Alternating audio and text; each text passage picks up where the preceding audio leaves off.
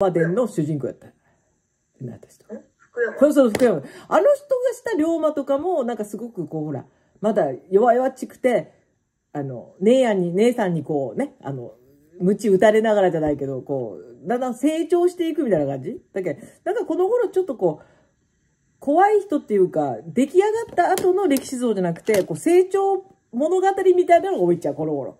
うん。そうそう。だけど、今回のの、前もほら、信長が主人公の時も、こう、なんて言ったらいいと、あの、ドキドキしながら話を進めていく信長みたいな感じ。だけど、今、あれじゃない？あの、そういう通過過程を大事にしたいっていうテーマで、こう、混沌としたこれからわからない未来を切り開いていくときに、こういう人たちもこんなに悩み苦しんで道を開いていったんだよっていう大河を見せたいって思うとじゃないかなとは思うけどね。うん。っていう脚本が書ける人が脚本書いてるみたいな状態。うん。いやいやあの非常に面白いよね。あの、三谷幸喜さん。が新選組とか、あの、龍馬伝とか書くようになってからは。それまでのはちょっと今までのもうなん。か歴史をただこう、誰がどう演じるかみたいなね、の感じだけど、ガラッと変わってきたよね。それ以来からだからね。この10年くらいかな。なん。か雰囲気が変わってきた。うん。面白くなってきたと思う。その脚本が若い人が書く書くようになったっていうのでね。うん。そうそう。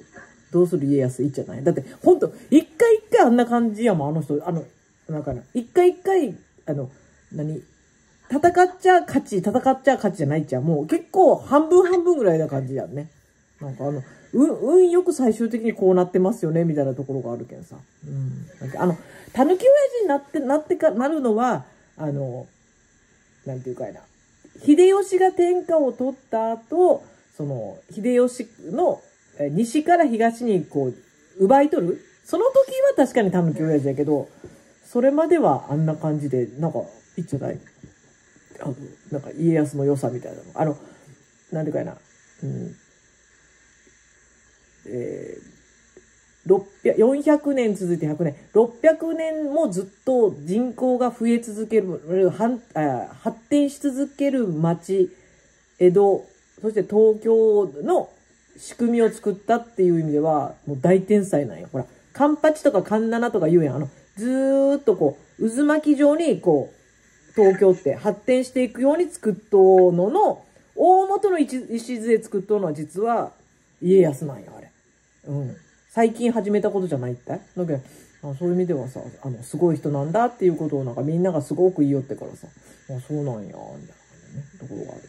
なんか面白いじゃない？あの、まあ、松潤がし、あ、だけど、だけどね、というか、あの、今、ジャニーズの人たちをとにかく、その、とか、なんか、若い人が好きそうな人を主人公にすると見るやん、みんなが。そうそうそう。松、ね、だから松潤がしてるとかさ。私はあれまたあんまりどうでもいいっちゃけど。あ、でも、私、松潤のあの、花より男子の時の松潤好きやったよ。あの、なんか、狡猾な感じのあの演技は。うん。あれ好きやったねまだ若かったもんね、あの頃はね。あ、松潤上手やんって思ってみたよね。うん。やとけん。まあ、ね、うだってほら、信長役はあの人、もう V6 のあの人やしさ、まあ、岡田くんやしさ、ね、だけん。ほとんどジャニーズよね。すごいね、ジャニーズね。大大したもんよね。みんな見るしね。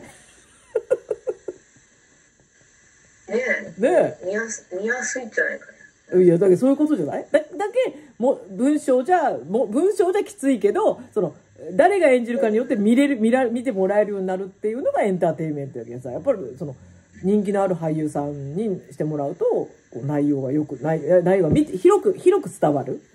うん。っていうので、マリリン・モンローとかも、ほら、慰問とかにも生かされるわけやね。あの、朝鮮戦争の時に。あんな寒いところみんながこんなお厚い厚着の着とんしゃのにドレスで歌息白くしながら歌いよんしゃとかさ。なかなかのねなかなかの使命感じゃないと。まああのあれよね、うん、なんかあんな風に利用されるんよね。やっぱそういう時にね。だからある意味時代が悪かったら時代に利用されてしまうね。そういう人たちってね。うん。いや今今は平和やけいいけどね。後から見たらさ後から見たらわーってやっぱ思うよでも今でも多分その戦争しようところとかはそういうこうほら人気のある人の歌手とか、その、あれとかに、のね、あの、その人が伝えたら伝わりやすいけんってことで利用されようした人っていうのもあるやろうね。うん、で、やっぱりほら、売れて支持されたいっていうのがあるけんさ、もう背に腹は変えられんで、やっぱりこう。あと、なんか最貧金、最貧系兵器とか、なんかとにかく、お医者さんもそうやし、工学の博士とかも、そういうのでほら、自分がしたかった研究を一番トップレベルで研究させてくれるけんさ。ね。うん。ね、ああいう時期の人って、特に科学、科学者的な人は、学者的な人は、狂気地味なところに行ってしまうよね。いいとか悪いじゃなくて、自分の研究が、こうほら、ね、湯水のようにさせてくれるわけやない。ね。そっち側に行くんよね。怖いなとは思うけど。まあそんな感じで。はい。で、えっ、ー、と、